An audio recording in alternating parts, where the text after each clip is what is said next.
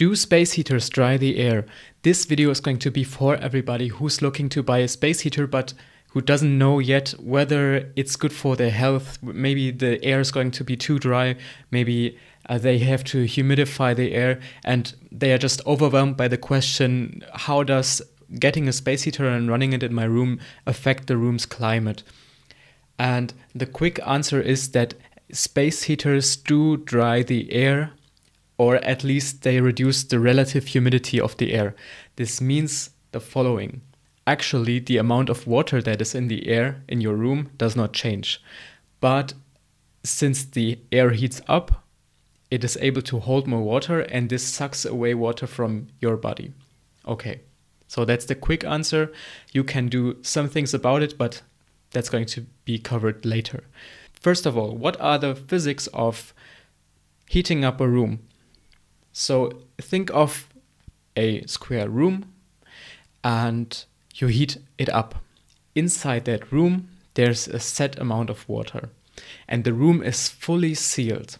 Now, after heating this room up, does the amount of water in that room change?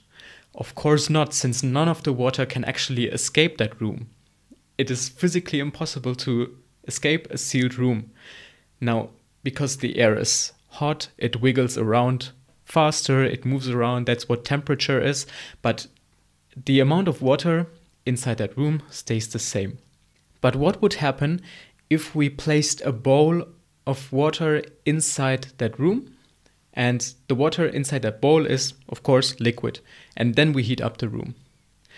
Well, still we have a fully sealed room. None of the water escapes the room but the water from the bowl would evaporate because the water uh, be, because the air is hotter and it can absorb more water and hold more water. And that's the key principle of heating a room with any kind of heater. It does not matter whether the, whether it's a space heater or a gas heater or whatever, or whether it's your central heating or a heat pump does not matter. You can think of your room as being this fully sealed system where nothing can escape and the water inside that room can't change because the room is fully sealed. However, the water that's available in liquid form, it will be absorbed by the by the air because the air is getting hotter and hot air can hold more water and therefore it will absorb the water. And of course, with increasing temperature, the water will start evaporating. Now, this leads to an interesting conclusion.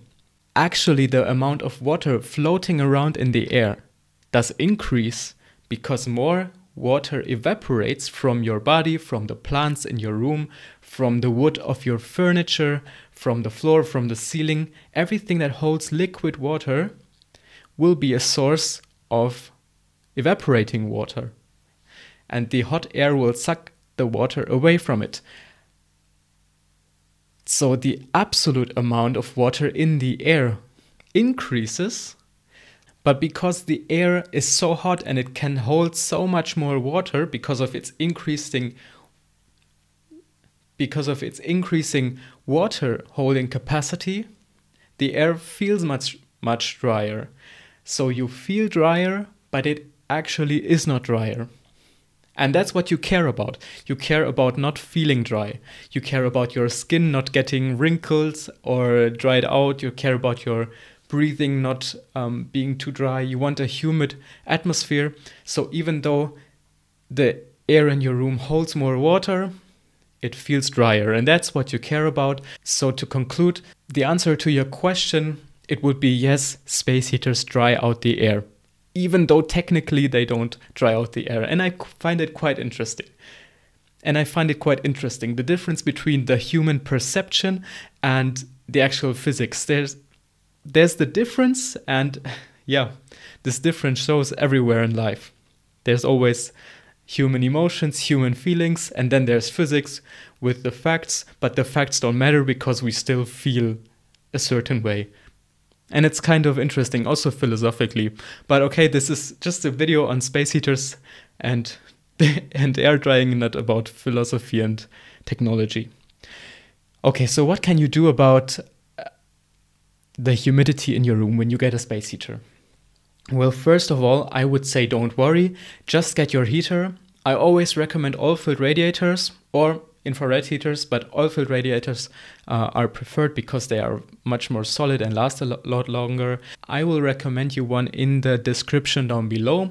My favorite oil filled radiator if you don't have one yet. But okay, check it out. If you like it, then get it.